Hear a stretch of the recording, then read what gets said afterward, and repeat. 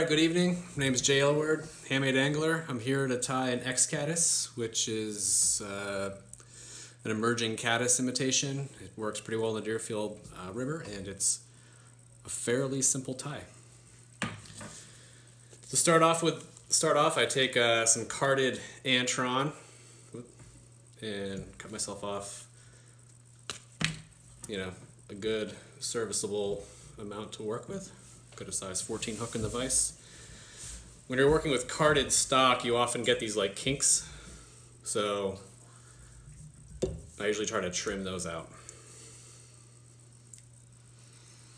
I'm getting ahead of myself here because I need to put thread on the hook. You want to start your thread about an eye width away from the eye of the hook. Give yourself a little bit of working room. And then you try to create this nice even body all the way to the bend.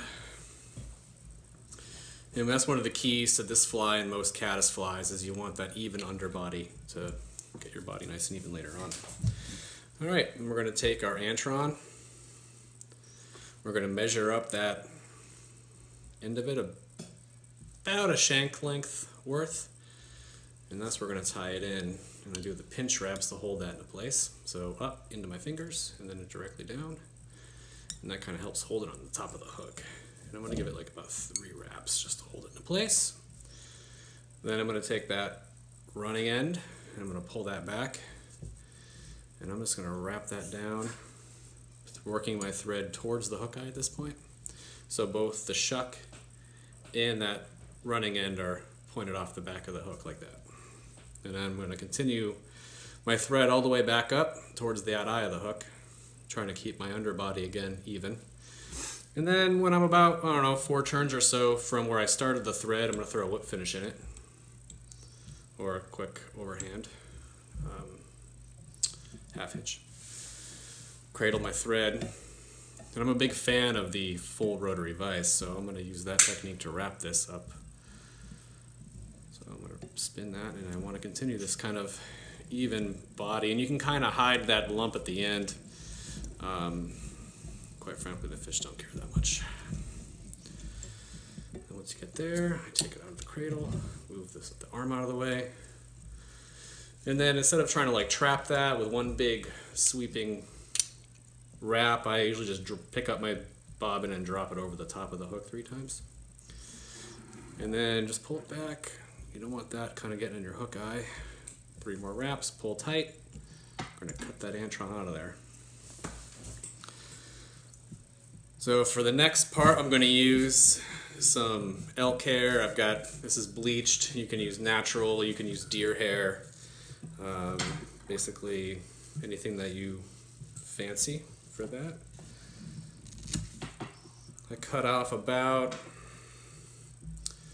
about, I don't know, that's about a pencil's width worth. And we're tying 14s here, which is kind of big for this pattern, but that's still a little too much hair, so I'm gonna pull just a pinch out of there. There we go, now that just feels a little better. Clean out my comb. All right, then you're gonna comb out the underfur. It just helps it line up better on the stacker, and it also helps it from rolling off of itself. All right, I'm gonna put that in my stacker. Try to line up here. Tips first.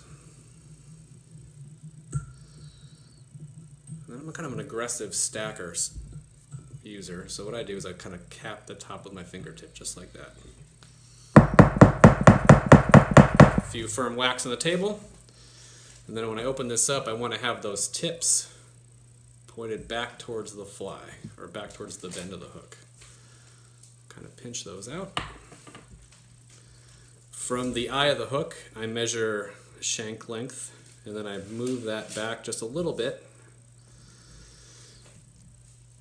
to where my thread was left, and I take one real loose wrap and I kind of put a little bit of pressure on there, and I'm putting a fair amount of pinch on these fibers as well to hold them in place. Another one a little tighter, and I'll get down on those, and I'll move these hand, this left hand up, and I'll grab all that stuff from underneath and I'll really put some pressure to it.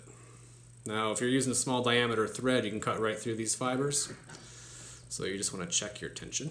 So then I come in and I pull all that excess hair back towards the bend of the hook. And I come in, and I'm going to build myself a little mound here underneath those hairs.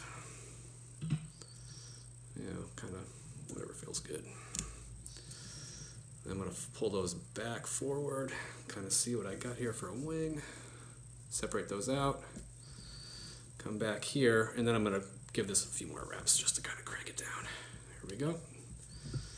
That's good there. Bring that thread back in front of that wing.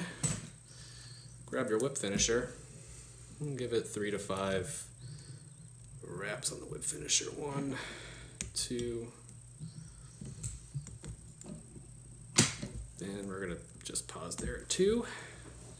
Come back in.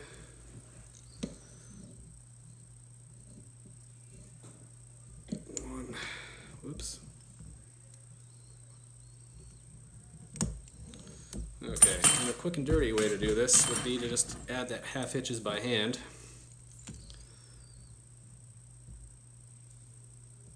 One, two, three. And then I'll use this piece of the bodkin here, support that hook eye, just make sure those knots are tight.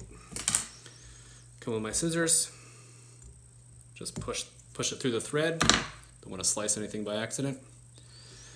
And then I take all this, all these butts of this hair stack, do what I can to separate it from the wing. We can come in and neaten this up a little bit in a second. And I hold all those forward over the hook eye.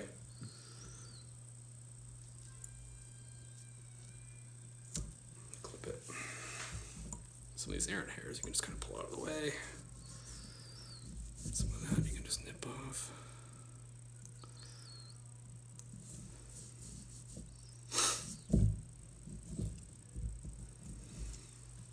Little head cement there. And I just kind of like put a little drop in at the side here where the thread overlaps the wing. Any excess you just kind of move out of the way. Like this shuck's a little long, so I'll just kind of push my scissors through it a little bit, kind of uneven it. There you go. That's the uh, X-Caddis, quick and dirty. Now a variation on this fly is you can make it a egg-laying female by removing that shuck, adding a little bit of green dubbing at the back there as like a, for the egg uh, egg sac, and then you can make it real pretty like by adding a couple rubber legs. Thanks for your time. I hope you enjoy the video and hope you slay your next fish on the X-Caddis.